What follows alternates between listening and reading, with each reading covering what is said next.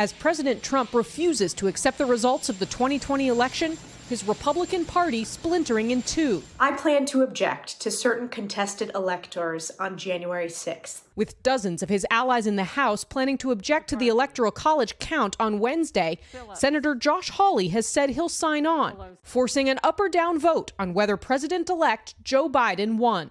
A dozen more Republican senators say they'll vote to object unless there's a commission to study the results. We ought to have a fair inquiry, a fair audit into these results. Establishment Republicans are warning objecting is a political and moral disaster. Mitch McConnell calling it a vote of conscience and the most consequential vote I have ever cast. Mitt Romney, the Republican presidential nominee in 2012, said it dangerously threatens the Republic.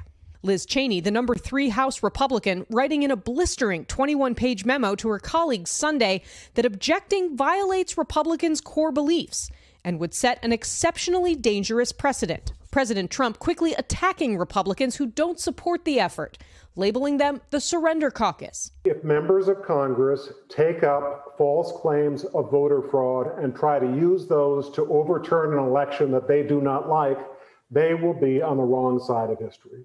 The objections could stretch a count that usually takes just half an hour into an hours long marathon at the Capitol, though it won't change the outcome.